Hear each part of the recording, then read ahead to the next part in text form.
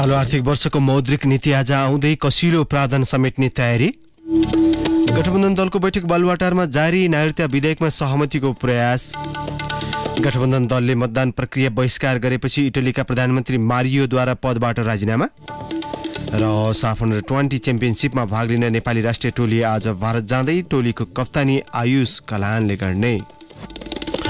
नमस्कार कान्तिपुर डायरीका साथमा केशु र म अनिल समाचार अब विस्तारमा। कोरोना कालमा दिएका सहुलियत र छुट कटौती गर्दै नेपाल राष्ट्र ब्याङ्कले आज चालु आर्थिक वर्षको मौद्रिक नीति सार्वजनिक गर्दैछ। राष्ट्र ब्याङ्क सञ्चालक समितिले पारित गरिसकेपछि आज दिउँसो सार्वजनिक गर्ने तयारी छ। मौद्रिक नीति सार्वजनिक गर्नु अघि हिजो राष्ट्र ब्याङ्कका गभर्नर महाप्रसाद अधिकारीले प्रधानमन्त्री शेरबहादुर देउवा राष्ट्रिय योजना आयोगका उपाध्यक्ष डाक्टर विश्व पौडेल अर्थ सचिव मधुकुमार मरासिनी लगायतलाई ब्रिफिङ गरिसक्नु भएको छ।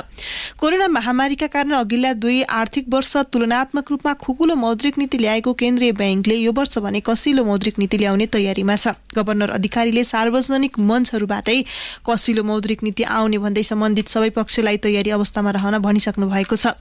विदेशी विनिमय संस्कृतिमा बढ्दो चाप उच्च व्यापार घाटा सुतानान्तर घाटा ब्याङ्कहरूमा तरलता अभाव उच्च मूल्य वृद्धि लगायत अर्थतन्त्र सङ्कट उन्मुख रहेका बेला केन्द्रीय ब्याङ्कले आर्थिक वर्ष दुई हजार उनासी अस्सीको मौद्रिक नीति सार्वजनिक गर्न लागेको हो। बजेटमा लक्षित आठ प्रतिशतको आर्थिक वृद्धि सहयोग आर्थिक वृद्धि प्राप्तिमा सहयोग पुग्ने र मूल्य वृद्धि दर सात प्रतिशत भित्रै राख्ने किसिमको मौद्रिक नीति ल्याउनु पर्ने चुनौती राष्ट्र ब्याङ्कलाई छ। मौद्रिक नीति मार्फत राष्ट्र ब्याङ्कले ब्याङ्क तथा वित्तीय संस्थालाई प्रदान गर्ने स्थायी तरलता सुविधा एसएलएफ प्रवाह प्रक्रियामा केही कडाई गर्ने देखिएको छ। यस्तै ब्याङ्क तथा वित्तीय संस्थाले राष्ट्र ब्याङ्कमा नगदै राख्नुपर्ने अनिवार्य नगद मौजदात सिआरआर पनि बढाउने राष्ट्र ब्याङ्कको तयारी छ। वैध बाटोबाट धेरै रेमिट्यान्स भित्राउन राष्ट्र ब्याङ्कले ब्याङ्क तथा वित्तीय संस्था र रेमिट्यान्स कम्पनीलाई विदेशमा शाखा खोल्न पाउने खुकुलो व्यवस्थासहित आवश्यक परे आफै सहजीकरण गर्ने खालको व्यवस्था लाउन लागि पनि स्रोतले बताएको छ। रियल इस्टेट महँगा निजी सवारी साधन खरिद लगायत क्षेत्रमा प्रवाह हुने कर्जामा केही कडाई गरी प्राथमिकता प्राप्त र उत्पादनमूलक क्षेत्रमा धेरै कर्जा प्रवाह गर्ने खालको नीतिको तयारी पनि राष्ट्र ब्याङ्कले गरेको छ।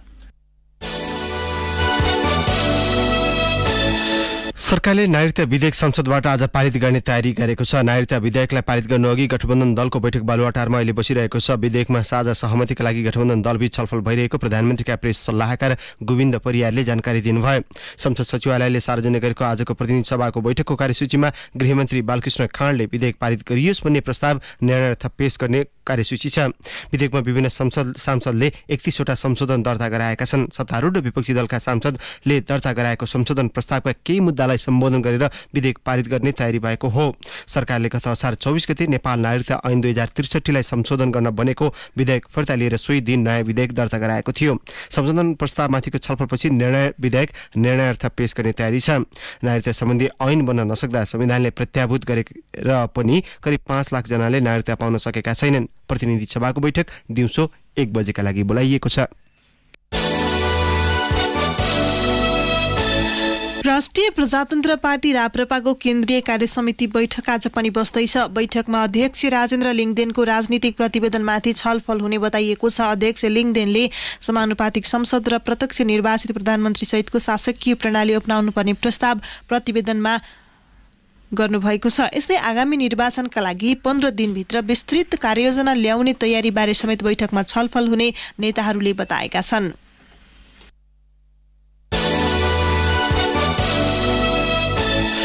प्रथम जननिर्वाचित प्रधानमन्त्री विश्वेश्वर प्रसाद कोइरालाको योगदानको स्मरण गरी आज चालिसौँ बिपी स्मृति दिवस मनाइँदैछ। नेपालमा प्रजातन्त्रको स्थापनाका लागि सङ्घर्ष गरेका कोइरालाको विक्रम सम्बत दुई हजार उन्चालिस साल साउन छ गते निधन भएको थियो। कोइरालाको जन्म विक्रम सम्बत उन्नाइस सय एकहत्तर साल भदौ चौबिसमा भएको थियो। विक्रम सम्बत दुई हजार पन्ध्रको संसदीय निर्वाचनपछि दुई हजार सोह्र जेठमा उहाँ पहिलो जननिर्वाचित प्रधानमन्त्री बन्नुभएको थियो। प्रजातान्त्रिक र राजनीतिक क्षेत्रमा मात्र नभई उहाँले नेपाली साहित्यका क्षेत्रमा पनि महत्वपूर्ण योगदान दिनुभएको छ। नेपाली साहित्यमा मनोवैज्ञानिक यथार्थवादी धारका प्रवर्धक कोइरालाका डेढ दर्जन कृति प्रकाशित छन्। कान्तिपुर डायरीमा अब ब्रेकको पालो ब्रेकपछि कान्तिपुर डायरीमा अब अन्तर्राष्ट्रिय प्रसङ्ग। इटालीका प्रधानमन्त्री मारियो ड्रागीले पदबाट राजीनामा दिनुभएको छ। इटालीको संसदबाट विश्वासको मत जित्न सफल भए पनि गठबन्धन सहयोगी दलले मतदान प्रक्रिया बहिष्कार गरेपछि अल्पमतमा परेका ड्रागीले राजीनामा दिनुभएको हो। ड्रागीको राजीनामासँगै इटालीमा प्रारम्भिक निर्वाचनको सम्भावना बढेको छ। ड्रागीले गत वर्षको फेब्रुअरीमा मुख्य राजनैतिक दलको सहयोगमा मिलिजुली सरकार बनाउनु भएको थियो।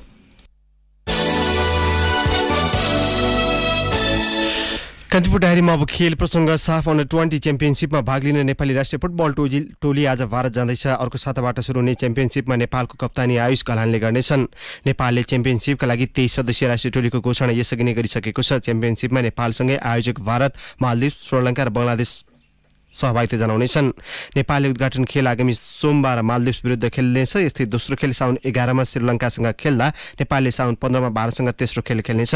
नेपालले अन्तिम खेल साउन सत्रमा बङ्गलादेश विरुद्ध खेल्ने तालिका छ। राउन्ड रोबिन लिगका आधारमा हुने प्रतियोगिताको शीर्ष दुई टोलीले उपाधिका लागि साउन बिसमा प्रतिस्पर्धा गर्दैछन्। जर्मनी महिला युरो च्याम्पियनसिपको सेमी फाइनलमा प्रवेश गरेको छ। गैराती भएको खेलमा अस्ट्रियालाई दुई शून्य गोल अन्तले हराउँदै जर्मनी अन्तिम चारमा पुगेको हो। जर्मनीलाई जित दिलाउन लिना मागुल र एलेक्जेन्ड्रा पपले एक एक गोल गरिन्। खेलको पच्चिसौँ मिनटमा मागुलले गोल गर्दै जर्मनीलाई एक शून्यको अग्रता दिलाएकी थिइन्। त्यसपछि खेलको नब्बे मिनटमा पपले गोल गर्दै जर्मनीको जित पक्का गरिन्। अब जर्मनीले सेमी फाइनलमा फ्रान्स र नेदरल्यान्ड्स बीचको विजेतासँग प्रतिस्पर्धा गर्नेछ।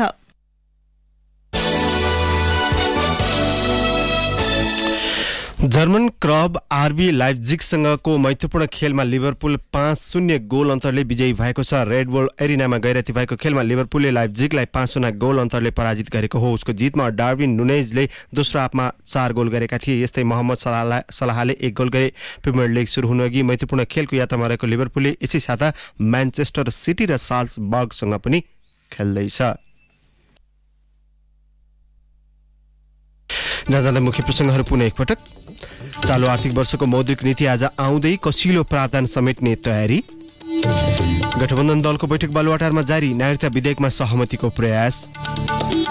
गठबन्धन दलले मतदान प्रक्रिया बहिष्कार गरेपछि इटलीका प्रधानमन्त्री मारियोद्वारा पदबाट राजीनामा। र साफ अन्डर ट्वेन्टी च्याम्पियनसिपमा भाग लिन नेपाली राष्ट्रिय टोली आज भारत जाँदै टोलीको कप्तानी आयुष कलानले गर्ने।